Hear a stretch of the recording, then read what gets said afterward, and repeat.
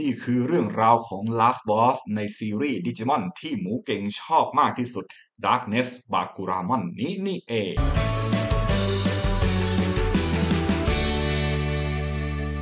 สวัสดีครับ ยินดีต้อนรับเข้าสู่มูเก่งแฟนตาซีสำหรับ The Enemy ในวันนี้นะครับ ก็อาจจะงงๆนิดหนึ่งนะครับ หลายๆคนติดตาม The Enemy มาว่าเอ๊ะทำไมศัตรูของยูกิมาเรื่อยๆ แล้วยูพิกมาเลยนะครับ ซึ่งบากูดามอนสำหรับคลิปนี้นะครับ ก็จะเป็นศัตรูจากเรื่องดิจิมอน คือผมเนี่ย เว้นคอนเทนต์ดิจิมอนมานานไปหน่อยนะครับ ก็ขอกลับมาทำคอนเทนต์ดิจิมอนและผมขอสัญญากับท่านผู้ชมตรงนี้ว่าคอนเทนต์ยูกิโอภาค GX จะทำอีกต่อมาเรื่อยๆนี่แหละแต่ว่าคอนเทนต์ The Enemy ผมคิดว่าน่าจะโยกมายังเรื่องดิจิมอนก่อนครับแล้วของยูกิโอภาค GX ยังมีเรื่องอื่นให้ทำอีกเยอะนะครับ ไม่ต้องห่วงว่าเออศัตรูคือฟูจิวาระยูสุเกะศัตรูคือดาร์กเนสอย่างเงี้ยจะมีหรือเปล่านะครับ สัญญาว่ามาแน่นอนเนาะแต่แค่สัญญาไม่ได้ว่ามาเมื่อไหร่เท่านั้นเองครับแต่ว่าก็จะพยายามทำออกมาให้ท่านผู้ชมได้สนุกสนาน กับทั้งคอนเทนต์ยูกิโอเนาะสำหรับใครที่เป็นแฟนยูกิโอโดยตรง และสำหรับใครที่เป็นแฟนของยูกิโอด้วย แล้วก็เป็นแฟนของดิจิมอนด้วยอย่างนี้นะครับก็มาสนุกสนานไปพร้อมกันได้เลยครับก่อนอื่นนะครับผมกลับมาที่เรื่องราวของคลิปนี้ที่ผมจะนำเสนอนั่นก็คือเรื่องราวของบากูรามอนนะ ซึ่งบากูรามอนนะครับเป็น last boss ที่ผมชอบโปรดปรานเป็นอันดับต้นๆของซีรีส์ดิจิมอนเลยนะ ซึ่งบากูรามอนนะครับเป็นตัวละครที่ผมรู้สึกว่ามีมิติมีความแบบน่ากดดันมีความกดดัน มีความร้าย มีความแบบเท่ๆเหี้ยมๆของเขาที่ผมรู้สึกว่าดูแล้วมันลงตัวมากๆเลยครับ ซึ่งอย่างแรกที่ผมบอกได้เลยว่าผมชอบบากูรามอนมากๆนะคือการที่ว่าเขาเป็นลาสบอสที่มีบทบาทมาให้เราเห็นตั้งแต่ช่วงแรกเลยครับบทบาทมาให้เห็นช่วงแรกก็จริงเนาะแต่ว่ามีการพูดถึงนะครับยังไม่ได้พูดถึงในเชิงของตัวบากูรามอนเอง แต่จะมีการพูดถึงกองทัพของเขาก่อนว่า เขามีกองทัพอะไรยังไง ลูกสมุนของเขาเป็นใครอะไรยังไง แล้วก็สามารถที่จะทำงานให้กับบากูรามอนได้ยังไงบ้างนะครับ แต่วันนี้จะเจาะเรื่องราวของบากูรามอนเป็นหลัก โดยผมแบ่งไว้แล้วเป็น4 chapter ว่าจะมีการพูดถึงเรื่องราวของบากูรามอนอะไรยังไงนะครับ ก่อนอื่นเนี่ยเราต้องมาพูดถึงข้อมูลเบื้องต้นตามข้อมูลสารานุกรมนะครับว่ามีการพูดถึงบากูรามอนไว้ยังไง ซึ่งถ้าเกิดว่าใครจำได้ดูของ d e s General มาแล้วเนาะจะรู้ว่าโปรไฟล์ตาม Digimon.net กับโปรไฟล์ในอนิเมะแอบมีความตรงกันประมาณสัก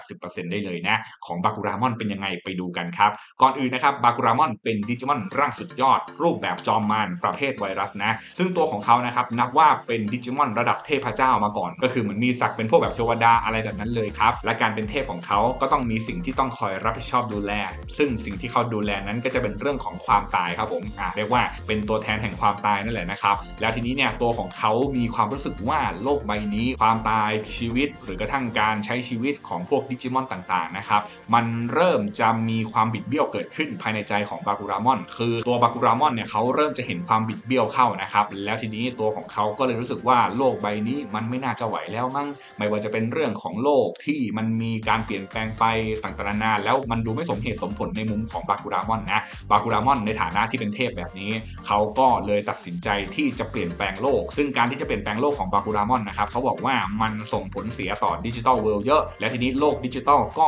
ให้บทลงโทษกับบากูรามอนครับซึ่งร่างที่ทุกคนเห็นอยู่ของบากูรามอนนะครับบอกเลยนะว่าร่างดั้งเดิมของเขาจะไม่ใช่แบบนี้ ส่วนครึ่งของร่างกายเขาเนี่ยใช้คำว่ามีความเปลี่ยนแปลงไป อย่างเช่น ส่วนแขนขวานะครับอันนี้คือเป็นแขนที่มีทรงเป็นกระดูกแล้วก็ขาขวาด้วย และส่วนดวงตาของเขาเนี่ยก็จะเป็นดวงตาที่เป็นสีแดงข้างหนึ่งนะครับแต่ใดๆก็ตามแล้วตัวของบากูรามอนถือว่าเป็นดิจิมอนที่มีความแข็งแกร่งสูงมากๆ และตัวของเขาก็ยังไม่ได้ล้มหายตายจากไปนะครับเขาก็ยังอยู่กับแผนเดิมของเขาที่ว่าเขาต้องการเปลี่ยนแปลงโลกดิจิทัลไปครับ โดยที่อันเนี้ยแอบมีความคล้ายกับของบทบาทในของภาค Cross War เลยนะครับ คือเขาเนี่ยต้องการที่จะทำลายแล้วก็สร้างโลกขึ้นมาใหม่ มันถึงต้องมีเรื่องราวของพวก Code Crown Dark Stone อะไรแบบนี้นะครับ เพียงแต่ว่าเรื่องราวมันคาบเกี่ยวไปยังโลกมนุษย์ด้วยเนาะ ต่อมาพูดถึงดวงตาขวาของเขานิดนึงกันละกันเนาะ ดวงตาขวาของบากูรามอนจะมีชื่อว่า Invisible Snake Eye ครับ สิ่งนี้สามารถใช้ในการสอดส่องดู Digital World ทั้งโลกได้เลยนะว่าดิจิทัลเวิลด์ที่ไหนเกิดอะไรยังไงแล้วทีนี้ตัวของเขาจะได้มีการวางแผน ว่าเขาจะทำยังไงกับพื้นที่นั้นของดิจิทัลเวิลด์นะอ่าซึ่งอันนี้ก็คือเป็นเหมือนกับว่า ซึ่งอันนี้ไม่ได้มีการขยี้ในอนิเมะนะครับแต่บอกได้เลยว่ามันทำให้เขาสามารถดำเนินแผนการได้อย่างแยบยลดีมากครับส่วนมือขวาของเขาจะมีชื่อว่า Astral Snatcher ครับซึ่งอันนี้เนี่ยเป็นสิ่งที่สามารถล้วงเข้าไปในร่างกายของศัตรูได้นะ ซึ่งล้วงเข้าไปแล้วเนี่ยจะเป็นการโจมตีก็ได้ จะเป็นการดึงพลังวิญญาณของดิจิมอนตัวนั้น หรือจะเป็นการโจมตี DigiCore โดยตรงมันก็สามารถทำได้ ซึ่งการที่เขาไม่ยอมหยุยุดแผนร้ายทั้งหมดทั้งมวลและเขาก็ยังทำอะไรต่างๆนานาที่มันดูแล้วจะขัดต่อความดีงามของ Digital World ใช่ไหมโลกดิจิทัลก็ดูเหมือนกับว่าไม่ได้มีบทลงโทษอะไรที่มันเหนือไปกว่านั้นนะ แล้วทีนี้ตัวบากุรามอนที่เป็นดิจิมอนเทวดามาก่อน พอมีการเปลี่ยนแปลงรูปลักษณ์ไป แล้วก็กลายเป็นจอมมารแบบนี้ เขาจึงได้รับฉายาจาก Digital World ครับว่าเป็นนักปราชญ์ตัวแทนแห่งความตายครับผมและข้อมูลสุดท้ายของบากุรามอนอันนี้น่าสนใจนะครับคือเขาเคยได้รับข้อเสนอจากเทพเจ้ามาแล้ว ซึ่งถ้าพูดอย่างเงี้ยคาดว่าน่าจะเป็นอิกดราซิลหรือเปล่าวะนะก็คือเขาเนี่ยได้รับข้อเสนอมาว่าถ้าบากุรามอนยอมทิ้งแผนการทั้งหลาย แล้วก็ทำหน้าที่ในฐานะดิจิมอนเทวดาของตัวเองบากุรามอนจะได้รูปลักษณ์เดิมของตัวเองกลับคืนมานะ ซึ่งพอฟังข้อมูลนี้ท่านผู้ชมคิดว่าบากุรามอนเขายอมไหมครับคำตอบคือไม่ยอมครับผมเขาก็เป็นดิจิมอนที่อยู่ในจุดยืนที่ต้องการทำแผนการของตัวเองให้สำเร็จนะครับก็คือการที่เปลี่ยนแปลง Digital World ที่มันไร้เหตุไร้ผล แล้วก็มีความบิดเบี้ยวแบบนี้ไปในทางที่เขารู้สึกว่าเหมาะสมนั่นเองครับและตัวของบากุรามอนมีร่างที่ไปต่อยอดจากร่างนี้ด้วย นั่นก็คือร่างที่มีชื่อว่า Darkness บากุรามอนครับ Darkness บากุรามอนเป็นดิจิมอนร่างสุดยอดรูปแบบผสมร่างประเภทไวรัสนะ ซึ่งตัวบากุรามอนตัวนี้เนี่ยเกิดจากดาร์กไนมอนทำการ DigiXros กับตัวบากุรามอนนั่นแหละครับ ซึ่งไอ้การ DigiXros ตรงนี้เดี๋ยวเราไปขยี้ในส่วนของศึกตัดสินเนาะว่าบากุรามอนกลายเป็นร่างนี้ได้อะไรยังไงตาม story ของอนิเมะครับ แน่นอนว่าอธิบายง่าย ๆ ว่าการเป็นร่างนี้จะทำให้ตัวบากุรามอนมีพลังแห่งความดำมืดที่จะสามารถควบคุมพลังชั่วร้ายของเขาได้ดีมากยิ่งขึ้นครับ โดยที่ตัวของเขาจะมีออร่าสีดำมืดปกคลุมบริเวณรอบข้างโดยออร่าพลังงานความมืดที่อยู่ใกล้ๆกับดักเนสบากุรามอนถ้าเกิดว่ามีดิจิมอนทั่วไปเข้าไปใกล้ปุ๊บจะโดนอิทธิพลพลังงานความมืดนั้นเล่นงานครับผม คือถ้าเกิดว่าทนไม่ไหวก็ถึงแก่ชีวิตนะ แต่ถ้าเกิดว่าทนไหวยังไงก็ตามแล้วไม่ถึงตายแต่ว่าสุดท้ายแล้วไอ้พลังแห่งความมืดออร่าอันนั้นมันจะทำให้ดิจิมอนที่เข้าใกล้ กลายเป็นลูกน้องกลายเป็นบริวารของดักเนสบากุรามอนในทันทีครับซึ่งรูปแบบออร่าของดักเนสบากุรามอนจะมีชื่อว่า God of Death Snatcher นะครับต่อมาพูดถึงดวงตาของไอ้ร่างเดิมนะครับ Invisible Snake Eye เนาะพอมาร่างนี้ปุ๊บจะมีชื่อว่า b a l f y Eye ครับผมซึ่ง b a l f y Eye นั้นสามารถยิงลำแสงสีแดง โจมตีใส่บริเวณรอบข้าง และทำให้พื้นที่บริเวณนั้น หรือกระทั่งสิ่งมีชีวิตนั้นนะครับกลายเป็นความว่างเปล่าหรือก็คือสูญสลายไปนะเนาะและถ้าไม้ตายสุดยอดของเขาคือ Eternal Darkmare ครับ Eternal Darkmare ก็คือจะเป็นการกระพือปีกฟึบๆมา และจะเกิดเป็นขนนกสีดำโปรยปรายนะครับซึ่งขนนกก็จะโปรยปรายไปพร้อมกับพลังจากตัวของ Darkness Bakuramon แล้วก็สามารถที่จะทำลายข้อมูลของดิจิมอนที่สัมผัสกับพลังออร่านี้ทำให้ดิจิมอนถูกทำลายจากภายในนะครับ DigiCore สูญสลายและร่างกายก็จะสลายตามไปในไม่ช้าครับ ซึ่งถือว่าเป็นโปรไฟล์ที่อลังการดีนะ ตัวของเขาที่แบบเป็นระดับเทพเป็นเทวดามาก่อน แต่ว่ามีแผนร้ายของเขาที่ต้องการทำนู่นทำนี่กับ Digital World แต่ว่าพอมาในดิจิมอน Xros Wars ปุ๊บก็ต้องมีเรื่องราวการมาปะทะกับพวกไทกิพร้อมกับการมองว่า Digital World กับโลกมนุษย์เนี่ยนะมันก็มีความไม่สมบูรณ์เหมือนกัน มีความบิดเบี้ยวที่ต้องสะสางเหมือนกันเพราะฉะนั้นแล้วเนี่ยดักเนสบากุรามอนก็เลยต้องการทำทุกสิ่งทุกอย่างให้จบสิ้นปิดฉากทั้ง 2 โลกนั้นไปเลยครับ ทีนี้มาพูดถึงบทบาทของบากุรามอนทั้ง 3 เฟสที่ผมจะเล่าให้ฟังนะ จะมีเรื่องราวช่วงแรกนะครับ ช่วงแรกก็คือช่วงตอนที่ 1 ถึงตอนที่ประมาณ 30 นะ และหลังจากนั้นก็จะเป็นตอนที่ 31 เป็นต้นไปถึงประมาณตอนสัก 50 ทีนี้ก็มาเลยครับผมหัวข้อที่ 2 ของเรากันนะ ก็คือเรื่องของศึกชิงโคดคลาวครับศึกชิงโคดคลาวเนี่ยมันมีมาตั้งแต่ก่อนที่ไทกิจะมาในโลกดิจิตอลตอนที่ 1 แล้วนะครับตอนนั้นก็คือทุกคนตอนนั้นมีไทกิมีอาคาริมีเซนจิโร่ที่เข้ามาที่ Digital World แล้วก็ได้รับการเล่าขานความฝันของชาวท์มอนว่าเขาอยากเป็นราชานะ เขาก็มีการต่อกรกับพวกดิจิมอนต่าง ๆ ของกองทัพบาคุระครับ และหลังจากนั้นเนเน่ก็จะมีการมาเจอกัน แล้วก็เล่าให้ฟังว่า Code Crown คืออะไร มันจะทำให้คนปกครองโลกดิจิตอลได้ ซึ่งตอนแรกตอนนั้นก็คือยังเป็นบาคุรามอนอยู่นะครับ ยังไม่ใช่ Darkness เนาะและทีนี้ตัวของเขาก็จะมีการส่งพวกลูกสมุนต่างๆนานามาให้ทำภารกิจ เพื่อที่จะชิง Code Crown นี่แหละครับ โดยที่ว่าลูกน้องที่รับใช้บาคุรามอนตอนนั้นนะครับมี 3 ตัวด้วยกันนะ จะเป็นดิจิมอนระดับร่างสุดยอดทั้งนั้นเลย ก็คือจะเป็นบลาสท์มอนแท็กติมอนแล้วก็ลิลิสมอนนะครับซึ่งทั้ง 3 ตัวนั้นเนี่ยรับใช้บากูรามอนในแง่ที่ว่าเขาก็เดินทางไปยังพื้นที่ต่างๆ แล้วก็มีการสะสม Code Crown มานะครับซึ่งการสะสม Code Crown เนี่ยเราจะได้เห็นว่าเดินทางไปยังโซนนู้นโซนนี้โซนโน้นแล้วก็จะได้เจอกับดิจิมอนต่างๆ แล้ว Code Crown จะเป็นตัวตัดสินจะเป็นตัวยอมรับ ก็คือมีการช่วงชิงกันเสร็จแล้วเนี่ย Code Crown ตอบรับเสร็จปุ๊บคนที่ได้ Code Crown ของพื้นที่นั้นไปครองก็จะได้เป็นเหมือนเจ้าของพื้นที่นั้นนะครับแต่เราเป็นเจ้าเราไม่ต้องอยู่ที่นั้นอย่างเดียวก็ได้นะ เราสามารถให้ตัวแทนของเราดูแลได้ยกตัวอย่างเช่นของไทกิอย่างเงี้ยเขาเดินทางไปยังโซนนู้นโซนนี้ได้โค้ดคลาวมาแล้ว แต่ว่าพอไปพื้นที่อื่นปุ๊บไอพื้นที่ที่เขาเคยไป มันก็ยังเป็นพื้นที่ของไทกิหรือก็คือของชาวมอนอยู่นั่นเองครับแล้วตัวของบากุรามอนเขาก็ทำแบบนี้กับลูกน้องของเขาเพียงแต่ว่าโค้ดคลาวทั้งหมดที่ตัวบากุรามอนต้องการ เพื่อที่จะเอามาใช้ในการเปลี่ยนแปลงดิจิทัลเวิลด์นะมันจะมีทั้งหมด 108 ชิ้นครับแน่นอนว่าช่วงการเดินทางของไทกิที่ไปยังโซนต่างๆนะครับซึ่งจะเป็นโซนหมู่บ้านนินจาบ้าง โซนขนมหวานบ้างโซนที่มีดาบนู่นดาบนี่บ้างนะครับ การเดินทางของไทกิเนี่ยเท่าที่นับดูประมาณสัก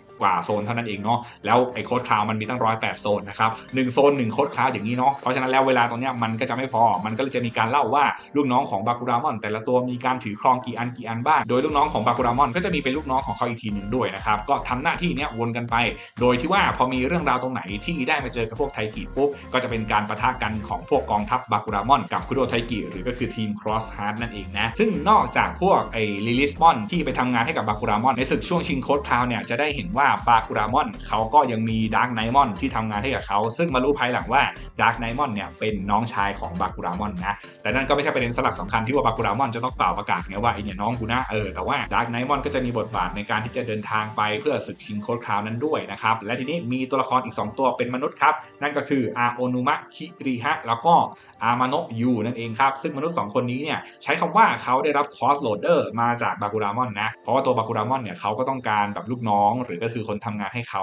ในแง่ที่ว่าเป็นGeneral อะไรพวกนี้ด้วยนะครับ ตอนนั้นเนี่ยครับ Dark Loader ยังไม่ได้มีการเอามาใช้งานขนาดนั้นบาคูรามอนก็เลยจำเป็นต้องใช้งานพวกมนุษย์ก่อน แล้วทีนี้ตัวของดาร์กไนมอนเนี่ยเขาก็ได้พลังของ Dark Loader มาแล้ว โดย Dark Loader มันมีคุณสมบัติในการที่จะบังคับ DigiXros ได้นะครับ แล้วทีนี้ตัวบาคูรามอนก็โอเค มีอุปกรณ์ใหม่เตรียมใช้ แล้วก็แผนต่อไปที่จะสร้าง Land ขึ้นมา แล้วก็มีกองทัพ Death General เนี่ยตัวบาคูรามอนก็จะให้เหล่านั้นนะครับใช้ Dark Loader ในการที่จะรวบรวมพลังงานต่อสู้ แล้วก็สร้างความรู้สึกลบที่มันเกิดขึ้นซึ่งยูเนี่ยดาร์กไนมอนไปหลอกมาโอเคครับผมยูยังอยู่ฝั่งของบาคูรามอนเนาะแต่ว่าคิริฮะที่เขามอบ Dark Loader ให้เนี่ยบาคูรามอนถึงก็บอกตอนท้ายเลยนะว่าแกมันคือจุดด่างพร้อยของกองทัพที่ฉันได้สร้างสรรค์ขึ้นมา เพราะว่าคีเรฮะเองเนี่ยเขาก็ไม่ได้อยากที่จะเชื่อฟังคำสั่งใครอยู่แล้วเขาก็เลยแบบว่าทำการเดินทางด้วยตัวเองไปนะครับโดยที่ว่าเรื่องราวมันไปสรุปช่วงตอนที่ 29 นะครับที่มีการเดินทางไปยังซอสโซนนะครับซึ่งเป็นพื้นที่ของพวกดิจิมอนที่มีดาบเป็นอาวุธอะไรแบบนั้นเนาะและในสถานการณ์ตอนนั้นก็จะมีช่วงที่ว่าแท็กติมอนที่เป็นลูกน้องของบากูรามอนชิงโคดพาวของพวกไทกิที่สะสมมาได้ทั้งหมดเนี่ย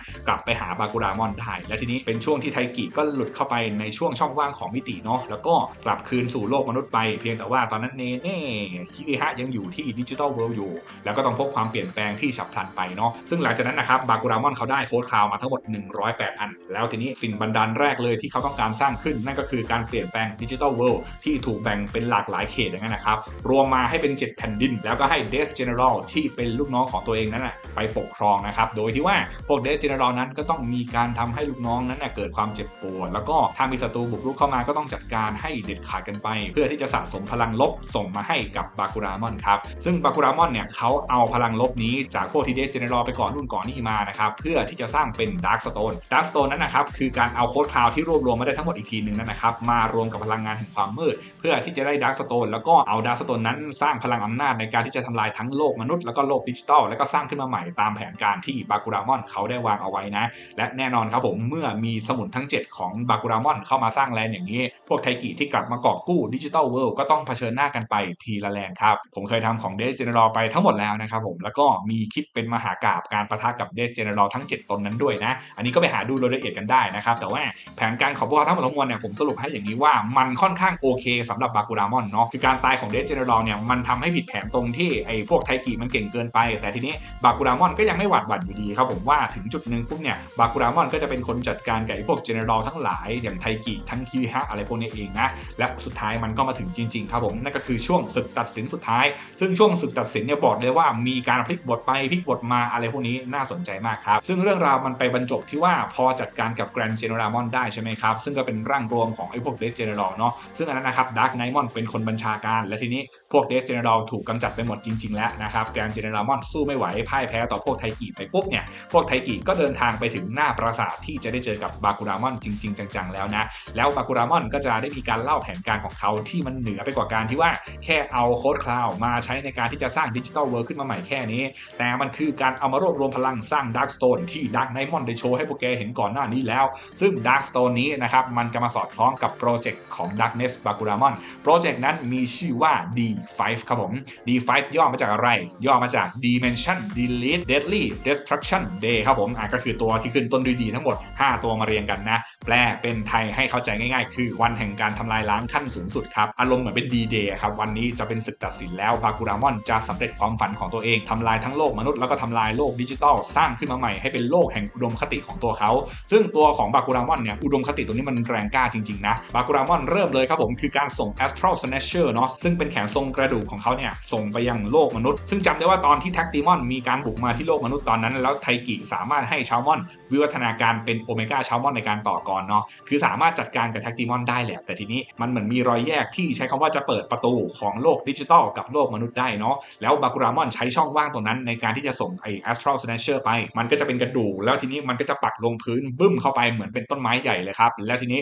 สิ่งที่อยู่รอบข้างบริเวณนั้นก็กลายเป็นหินกันหมดเลย อันนี้พูดในแง่ที่ว่าทั้งสะพานต้นไม้หรือกระทั่งพวกมนุษย์ที่อยู่ในบริเวณนั้นด้วยนะครับซึ่งอันนี้ถือเป็นการเชื่อมเสร็จปึ้งเรียบร้อยแล้วว่าบากูรามอนจะไปโลกมนุษย์แล้วนะจ๊ะตัวเธอ แต่ทีนี้แผนการของบากูรามอนสะดุดเล็กน้อยครับผม คือไอ้น้องชายอย่างดักไนมอนเนี่ยมันหักหลังบากูรามอนครับผมมาเอาหอกเสียบชึกเข้าไปเลย แล้วทีนี้มันบอกว่านี่แหละคือหนทางเดียวที่ฉันจะเอาชนะท่านพี่ได้ เพราะว่าท่านพี่เนี่ยแข็งแกร่งเกินไป แล้วถึงคราวตรงนี้ที่ท่านพี่จะทำแผนการของตัวเองเนี่ย ฉันจะเป็นคนที่รับช่วงต่อเอง และจะทำตามความฝันของพี่ โดยที่ว่าพี่ต้องไม่มีชีวิตอยู่ที่นี่แล้วนะ ซึ่งดาร์กไนมอนก็ทำการบังคับดิจิครอสครับผม ตัวเองก็มีแบบ Dark Loader ใช่ไหมบังคับกับพี่ชายตัวเองเลย เกิดขึ้นมาเป็นดาร์กไนมอนที่เป็นอีกรูปแบบหนึ่งครับผม ซึ่งตอนนั้นนะครับดาร์กไนมอนมันก็เหมือนกับว่าโอ้ฉันชนะท่านพี่ได้เรียบร้อยแล้วสินะต่อไปก็พวกคุโดไทกิพวกแกเตรียมตายกันได้เลย แต่ไม่ทันไรครับผม หลังจากที่พวกชาวท์มอนต่อสู้กับดาร์กไนมอนไปแป๊บหนึ่งนะภายในตัวดาร์กไนมอนมันก็เกิดบทสนทนาขึ้นระหว่างพี่ชายน้องชายว่าบากูรามอนยังไม่ตายจ้าคือบากูรามอนเนี่ยบอกเลยว่าดาร์กไนมอนแกเองนี่ก็กล้าดีนะที่วางแผนจะหักหลังฉันได้ขนาดนี้ แต่สุดท้ายแล้วแกไม่มีความมุ่งมั่นอันแรงกล้าที่จะทำตามอุดมคตินั้นของตัวแกเองยังไงหล่ะแกถึงไม่คู่ควร แล้วก็ไม่มีจิตใจที่จะสามารถได้ Dark Stone นั้นไปทำให้ความปรารถนาของตัวเองเป็นจริง แล้วพอบากูรามอนประกาศชัยชนะปุ๊บไอตัวดาร์กไนมอนที่อยู่ด้านนอกที่กำลังต่อสู้กับพวกไทกิอยู่ใช่ไหมตอนนั้นดาร์กไนมอนก็ร่างฉีกครับผมแล้วก็กลายเป็นดาร์กเนสบากูรามอนไป ซึ่งดาร์กเนสบากูรามอนก็บอกเลยว่าไอ้น้องชายของฉันมันตายไปแล้ว แผนโง่ๆแค่นี้ทำอะไรฉันไม่ได้ และหลังจากนั้นนะครับก็เป็นเหตุการณ์น่าเศร้าอันหนึ่งของไทกินะซึ่งไม่คิดว่าจะไปถึงจุดนั้นได้ แต่มันไปถึงแล้วจริง ๆนั่นก็คือชาวมอนเนี่ยประกาศไปเลยว่าดาร์กเนสบากูรามอนสุดท้ายแล้วแกก็ไม่มีคุณสมบัติของราชาเลยสักนิด คนที่จะเป็นราชาที่ดีของโลกดิจิตอลก็คือฉัน และในเมื่อมันจะเป็นแบบนั้น ฉันจะไม่มีวันให้แกได้เป็นราชาเด็ดขาด และชาวมอนเนี่ยพุ่งเข้าโจมตีดาร์กเนสบากูรามอนเนาะพุ่งเข้าปะทะกับดาร์กเนสบากูรามอนตรงๆก็ทำให้ชาวมอนต้องตายไปก่อนนะ ซึ่งพอชาวมอนตายไปไทกิก็เสียใจเนาะและดาร์กเนสบากูรามอนก็เริ่มแผนการเลย ไปสู่โลกมนุษย์ซะ ซึ่งดักเนสบากูรามอนไปสู่โลกมนุษย์พร้อมกับพวกกองทัพของเขาเนาะส่วนพวกไทกิเนี่ยโชคดีว่าตอนนั้นเนี่ยมีเซนจูโร่กับอาคาริที่หลุดเข้ามาในช่องว่างของมิติ และหลังจากนั้นก็จะได้รับฟังเรื่องราวของพวกผู้กล้าจากโลก Digital World ยุคโบราณนะครับก็จะมีวอลเกรมอนเอ็กซ์มอนพวกนี้มีการมาเล่าเรื่องราวเกี่ยวกับการที่ว่าโลกดิจิตอลยุคก่อนเนี่ยมันก็ค่อยๆ แย่ลงนะ มีการแบ่งแยกพื้นที่ไปนู่นไปนี่อะไรเงี้ยแต่สุดท้ายแล้วเนี่ยสิ่งที่ดักเนสบากูรามอนมันทำมันก็ไม่ใช่สิ่งที่เราจะยอมรับได้ เพราะฉะนั้นแล้วตอนนั้นพวกไทกิก็ต้องวางแผนกันแล้วว่าโอเค ยังไงก็ตามแล้วต้องหยุดบากูรามอนให้ได้ และตอนนี้รู้แล้วว่าไอ้ Code Crown ครับมันมีคุณสมบัติในการที่จะสร้างโลกดิจิตอลขึ้นมาใหม่ อันนั้นเป็นสิ่งที่รู้อยู่แล้ว แต่เหนือไปกว่านั้นคือ การที่ว่าเอาดิจิมอนทั้งหลายที่สลายไปหรือก็คือตายไปนั่นแหละนะเอากลับคืนมาสู่ Digital World ได้ทั้งหมดเลย การทำแบบนี้หมายความว่าอะไร หมายความว่าทั้งดามมอนของยูทั้งเชลมอน หรือกระทั่งเบลเซปมอน หรือเดคเคอร์ดามอนของคีดิฮะนะครับจะกลับมาทั้งหมดเลยเนาะเพราะฉะนั้นแล้วการกำจัดบากูรามอนตอนนี้มันเป็นภารกิจอันใหญ่หลวงที่ว่าเดิมพันด้วยชะตาของ Digital World เลยครับแล้วตอนนั้นสิ่งที่พอจะทำได้ก็คือพลังอำนาจจากดิจิเมมโมรีที่จะส่งให้ไทกินั้นนะเข้าไปในมิติที่เป็นภายในของตัว Darkness บากูรามอน นะครับซึ่งตัวนี้สามารถทำได้นะก็คือเข้าไปพร้อมอาคาริแล้วก็มีคิวมอนด้วยใช่ไหมตอนนั้นเข้าไปเพื่อที่จะหาชาวมอนว่ายังอยู่ในตัวของบากูรามอนหรือเปล่า เพราะว่าในจุดที่ยิงไปนะครับดิจิเมมโมรีมันก็ทำปฏิกิริยากับ Dark Stone เนาะที่มีพลังของ Code Crown อีกทีหนึ่งด้วยทำให้ไทกิเข้าไปใน Code Crown แล้วก็หวังว่าจะได้เจอกับชาวมอนสักหน่อยนึงนะพอ Code Crown มันก็คือกุญแจในการดลบันดาลเนาะสร้างโลกดิจิตอลหรือสามารถชุบชีวิตดิจิมอนขึ้นมาได้ แต่ไทกิไม่ได้เจอชาวมอนก่อนครับผมเจอบากูรามอนซะก่อนนะ สังเกตได้ว่าร่างภายนอกเนี่ยเป็นดาร์กเนสบากูรามอนก็จริงเนาะแต่ว่าในมิติของ Code Crown ตอนนั้น ก็คือจะเป็นบากูรามอนตัวปกติ คือแบบว่าคุโดไทกิมาให้ย้ำถึงที่เลยแบบนี้ยินดีเป็นอย่างยิ่งเลยจ้า แล้วทีนี้บากูรามอนที่กำลังเล่นงานไทกิไปเรื่อยๆเนาะอยู่ๆชาวมอนก็ปรากฏตัวขึ้นมา แล้วก็มีเบลเซฟมอนด้วยครับแล้วพอชาวมอนเบลเซฟมอนมาพร้อมกันแบบนี้แล้ว ก็ต้องออกจากสถานที่แห่งนี้กันก่อนแล้วนะบากูรามอนก็ตกใจเล็กน้อยนะครับแต่ว่าโอเคฆ่ามันในนี้ไม่ได้ ก็ออกไปฆ่าข้างนอกกันแล้วกัน ซึ่งตอนนั้นนะครับชาวมอนไทกิเบลเซฟมอนอะไรพวกนี้ก็ได้ออกมาสู่โลกภายนอกเนาะในขณะที่ว่าพวกเนเน่คิริฮะยูเซนจูโร่อาคาริกำลังต่อสู้กับกองทัพบากุรามอนเลยครับซึ่งก่อนที่ไทกิจะออกมาเนี่ยมันจะมีเหตุการณ์นิดนึงครับผมที่ชาวมอนได้พูดไว้ว่า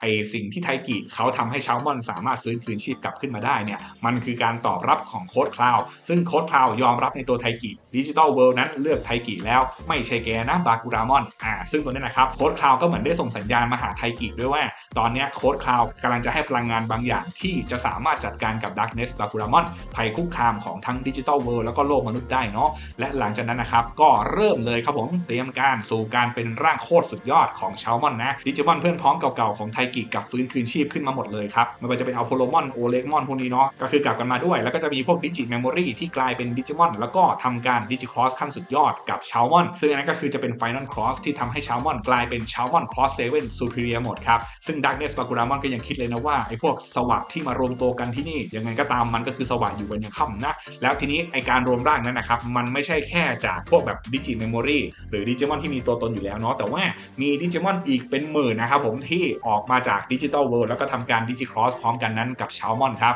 และชาวมอนที่เป็นร่างนี้เสร็จแล้วก็ได้ทำการโจมตีเผด็จศึกครั้งสุดท้ายกับดักเนสบากูรามอนนะ ซึ่งดักเนสบากูรามอนก็โดน Final Cross Blade เข้าไปเรียบร้อยครับผม ดาบเดียวรู้เรื่องเลยฮะ ซึ่งตัวนี้ก็จะเป็นจุดพ่ายแพ้ของดักเนสบากูรามอนนะครับ จังหวะที่เขากำลังจะสลายไปนั้นน่ะเขาก็ยังพูดอีกนะครับว่าฉันก็ยังอยากทำให้ฝันของฉันนี้เป็นจริงอยู่ดี แต่สุดท้ายก็สลายไปพร้อมกับชาวมอนก็ทิ้งท้ายข้อความไว้ให้นะครับว่าบากูรามอนเอ๋ยถ้าแกคิดจะเดินทางผิดอีกแล้วก็ ฉันจะเป็นคนหยุดแกเองก็แล้วกัน แต่อย่างไรก็ตามแล้ว ไปเจอกันใหม่ในอาณาจักรของฉันก็แล้วกันอ่าซึ่งตัวนี้ก็คือชาวมอนเขาคิดแล้วว่าเออCode Crown ก็ยอมรับตัวไทกิแล้ว และชาวมอนก็ได้พลังสุดยอดแบบนี้มาแล้วเนี่ย ตัวของเขาก็มีคุณสมบัติที่จะเป็นราชาของ Digital World ได้แล้วนั่นเองเนาะ และดักเนสบากูรามอนก็หายไปนั่นเองครับ ก็เป็น happy ending ช่วงตอน 54 เนาะที่ว่าจบศึกทั้งหมดทั้งมวลแล้วดิจิมอนที่มาทำการดิจิครอสกับชาวมอนตอนนั้น ก็คือจะกลับไปยังโลกดิจิตอลกันครับ เป็นการอำลาของพวกไทกิไปเนาะ แต่ทีนี้มันจะมีภาค Cross War Hunter ตามต่อมาเลย นั่นก็คือเรื่องราวที่ว่าชาวมอนไปเป็นราชาแล้ว แล้วเราก็จะได้รู้ในตอนจบของภาค Cross War Hunter นี่แหละครับว่า Darkness บากูรามอนที่สลายไปใช่ไหมบากูรามอนที่จริงแล้วยังไม่ตายหรือเปล่า เพราะว่าจะมีตัวละครตัวหนึ่งชื่อว่าคุณลุงร้านนาฬิกาครับ คุณลุงร้านนาฬิกาเนี่ยเป็นคนที่จะเอาคอสโ l เดอร์มาให้กับพวกฮันเตอร์ทั้งหลายที่เป็นเด็กๆนู่นเด็กนี่เนาะโดยตอนจบไทกิไปทักตาลุงคนนี้เลยครับว่าทั้งเรื่องการมอบดิจิครอสเรื่องการชี้นำแผนการต่อสู้ต่างๆ หรือว่านายจะเป็นแล้วคุณลุงก็ตอบไปว่าสมก็เป็นคุโดไทกิเลยนะโลกที่นายเคยคิดจะปกป้องจากฉันทีนึงอะฉันก็แค่อยากจะลองปกป้องมันดูบ้างก็เท่านั้นเอง อะล้อเล่นนะคุณลุงก็ทำทีแบบเล่นๆไปนะครับ ซึ่งก็คงเป็นบากุรามอนจริงๆแหละเออเพียงแต่ว่ามาในคราบของการเป็นมนุษย์คุณลุงร้านขายนาฬิกาด้วยประการชนี้นี่เองครับ ทั้งหมดนี้ก็จะเป็นเรื่องราวของบากุรามอนนะครับลาสบอสแห่งภาค Cross War ที่มีบทบาทกินตั้งแต่ตอนต้นไปยังตอนจบเลย ซึ่งบทบาทของเขามันก็มีอยู่ปลาปลาย แล้วก็ไปเข้มข้นเหมือนประมาณอัดอั้นมานานนะครับผมในช่วงประมาณ 2-3 ตอนสุดท้ายเนาะเออผมรู้สึกว่าบทบาทดีมากๆนะครับองค์ประกอบของการเป็นลาสบอสดิจิมอนมันต้องอย่างนี้สิว่าอันนี้ก็คือเป็นความคิดเห็นส่วนตัวของผมนะ แล้วถ้าผู้ชมนะครับ มีความคิดเห็นยังไงเกี่ยวกับลัสบอสตัวนี้ ชอบจุดไหนไม่ชอบจุดไหนอะไรยังไง สามารถคอมเมนต์มาพูดคุยกันได้ หรือมีข้อมูลอยากจะคุยอยากจะเสริมยังไง ก็พิมพ์คอมเมนต์บอกกันมาได้โลดเลยนะฮะโอเคสำหรับวันนี้ผมก็มีมาพูดคุยให้ฟังเพียงเท่านี้ ถ้าคลิปนี้มีข้อผิดพลาดประการใด ผมก็ขออภัยมาณทีนี้ด้วยนะถ้าดูคลิปนี้แล้วชอบอย่าลืมกดไลค์กด subscribe กดแชร์กดกระดิ่งเป็นกำลังใจให้ผมด้วยนะครับและเดี๋ยวไว้พบกันใหม่คลิปหน้า สวัสดีครับ